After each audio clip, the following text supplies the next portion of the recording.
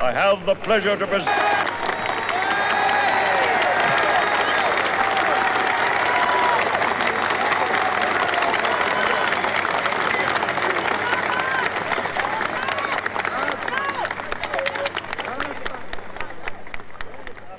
I am happy to join with you today in what will go down in history as the greatest demonstration for freedom in the history of our nation.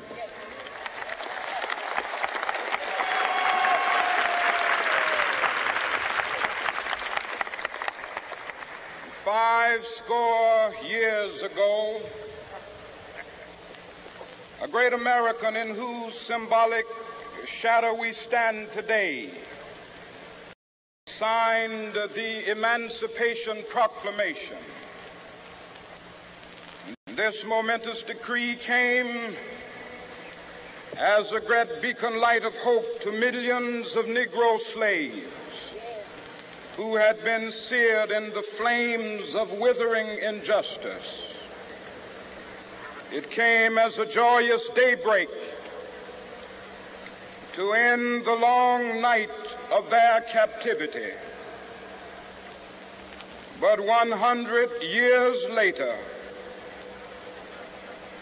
the Negro still is not free. 100 years later, the life of the Negro is still sadly crippled by the manacles of segregation and the chains of discrimination. 100 years later, the Negro lives on a lonely island of poverty in the midst of a vast ocean of material prosperity. This nation will rise up and live out the true meaning of its creed. We hold these truths to be self evident that all men are created equal.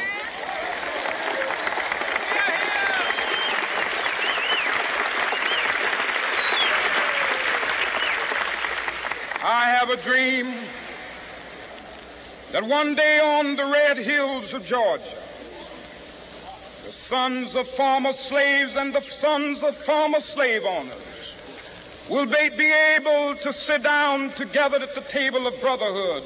I have a dream that one day, even the state of Mississippi, a state sweltering with the heat of injustice, sweltering with the heat of oppression, will be transformed into an oasis of freedom and justice. I have a dream that my four little children will one day live in a nation where they will not be judged by the color of their skin, but by the content of their character. I have a dream today.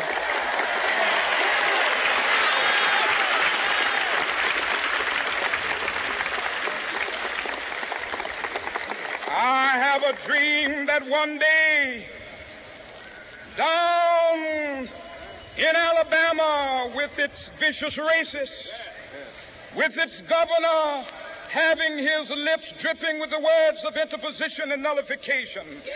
One day, right there in Alabama, little black boys and black girls will be able to join hands with little white boys and white girls as sisters and brothers. I have a dream today.